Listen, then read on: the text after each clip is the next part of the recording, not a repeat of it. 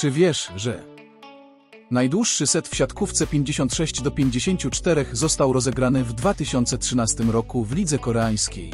Walka trwała 55 minut.